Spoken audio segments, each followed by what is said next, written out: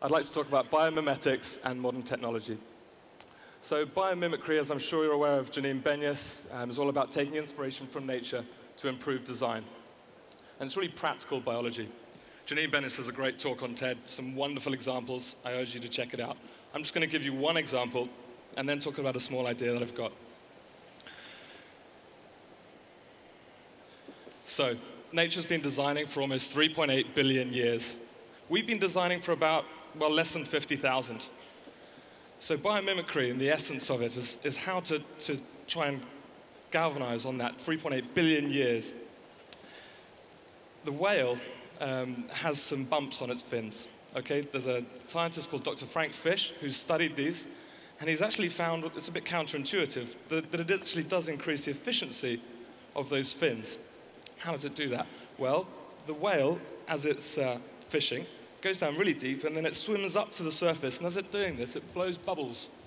And it blows these bubbles into a net. And the tighter that it can bank, the more fish that it can catch because the net is tighter. So actually, these, these bumps on its fins increase the efficiency of its fins.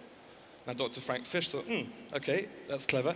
Now, he took that into design with turbines, and he's put bumps on blades, and those have actually improved the efficiency of turbines by up to 20%. I could go on giving examples all night. I'm not going to. Check out Janine Benyus's talk. Okay, so what I want to, to do is try and bring scientists and designers together. Designers increasingly work online. They work on web platforms, browsers, and that's where I really want to get the inspiration to. So if we can provide interesting information to them that's easily accessible, that, that'll be the, the ticket. Right, biologists. They do a lot of research, they produce a lot of data. There's reams and reams of, of scientific data available online, accessible via keywords. So what we need to do is, is, is come up with an algorithm that can search the, the, design documents for keywords and match them with the design, the, the keywords in, in, uh, in scientific journals. So that would then put the, the data readily accessible to the designers. But you don't really want text on the page. You need images, you need graphical representation, and photographers also massive, massive archives of natural history photographs that, with another algorithm, could be represented on the web platform next to the designer's work.